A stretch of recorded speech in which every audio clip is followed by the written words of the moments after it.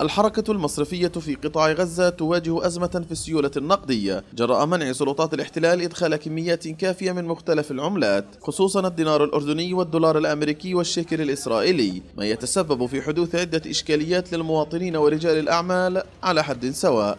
عانى قطاع غزة منذ فرض الحصار ال- الإسرائيلي على قطاع غزة منذ أكثر من خمس سنوات معاناة شديدة في السيولة النقدية لعدم تمكن الحكومة الإسرائيلية وعدم قابلية الحكومة الإسرائيلية إرسال الأموال النقدية لقطاع غزة.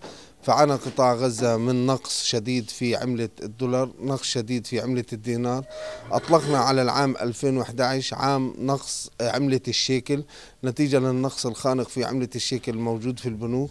هذا كله بسبب الحكومة الإسرائيلية الذي تمنع توريد الأموال إلى قطاع غزة. المواطنون الذين يضطرون إلى تسلم رواتبهم من البنوك بعملات أخرى غير الشيكل وبأسعار لا تتناسب مع السوق السوداء يشتكون من خسارة تلحق بهم. جراء إعادة تحويل هذه العملات في شركات ومحال الصرافة التي عادة ما تخضع للعرض والطلب. عدم وجود سيولة نقدية أدى إلى وجود السوق السوداء لأنه إحنا بلد حر. نخضع أسعار العملات للعرض والطلب. عدم وجود عملة معينة بيؤدي لارتفاع سعرها. فوجود النقد والسيولة بيحارب هذه الظاهرة بكل سهولة.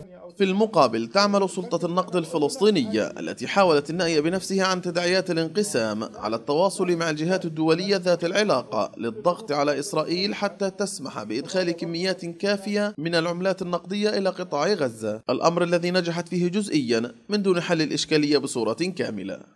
نحن عانينا كثير من المشاكل في السنوات الماضية بسبب الانقسام رغم أننا استطعنا أن نحافظ على الجهاز المصرفي آه، موحدا بين الضفة والقطاع وأن آه، بقيت سلطة النقد المؤسسة الوحيدة التي عملت آه، في شطري الوطن تحمل علم الوحدة الوطنية ونأت بنفسها عن هذا الانقسام بالشكل الذي حافظ على وجود الجهاز المصرفي واستطعنا خلال هذه السنوات أن يتم تحويلات من خلال الجهاز المصرفي ما يتجاوز السبعة مليار دولار أتت إلى آه، تخفيف الحصار عن القطاع. عودة الجهاز المصرفي إلى العمل بصورته الاعتيادية في القطاع تحتاج إلى حكومة واحدة في الضفة وغزة حتى تتمكن من تذليل كافة العقبات التي تتذرع بها إسرائيل. محمد الأسطل تلفزيون القدس غزة.